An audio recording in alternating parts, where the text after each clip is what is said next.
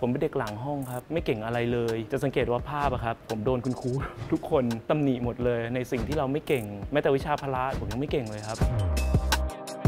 ผมรู้สึกว่าโรงเรียนไม่ใช่สถานที่จองจำอะครับ การนั่งอยู่กับที่และนั่งฟังทั้งวันนะครับ เป็นความทุกข์ทรมานอย่างหนึ่งของเด็กมาก ๆนะครับผม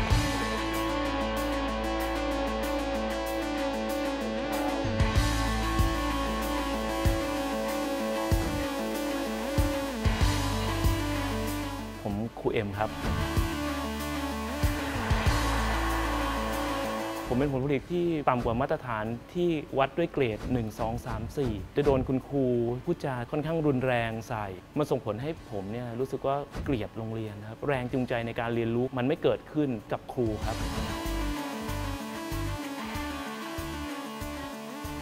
สิ่งเดียวที่เยียวยาความรู้สึกได้ตอนนั้นก็คือการระบายออกมาในกระดาษ คุณแม่ก็จะเป็นคนในครอบครัวของผมที่คอยรับฟังทุกเรื่อง คุณแม่จะบอกว่าถ้าลูกรู้สึกว่าลูกไม่ชอบในสิ่งนั้น วันหนึ่งถ้าลูกมีโอกาส ลูกก็กลับไปแก้ไขมันและอย่าทำแบบนั้น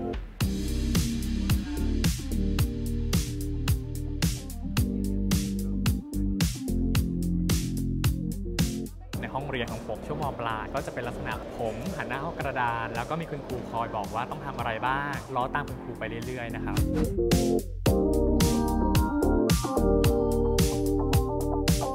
ทำไมเราจะต้องนั่งฟังคุณครูตั้งแต่8โมงครึ่งจนถึง3โมงห้องนี้มันทรมานเหลือเกิน เหมือนกับคุกที่เห็นเนี่ยครับผม ก็เลยเป็นความปรารถนาอย่างหนึ่งที่เราอยากจะเป็นคุณครู แต่จะไม่ใช่คุณครูที่ Talk and Talk เข้ามาพูดอย่างเดียว แต่เราจะให้ผู้เรียนเนี่ยพูดมากกว่าเรา แล้วก็อยากจะเห็นเด็กๆเนี่ยได้เติบโตตามวิธีทางของเขา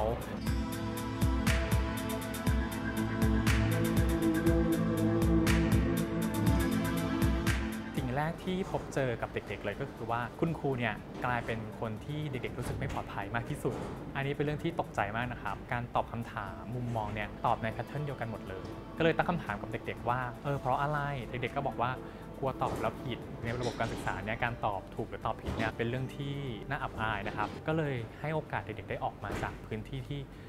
ไม่ปลอดภัยก่อนกล้าพูดกล้าคิด ให้เด็กๆเห็นเองเลยครับว่าคุณครูเนี่ยให้พื้นที่กับเขานะ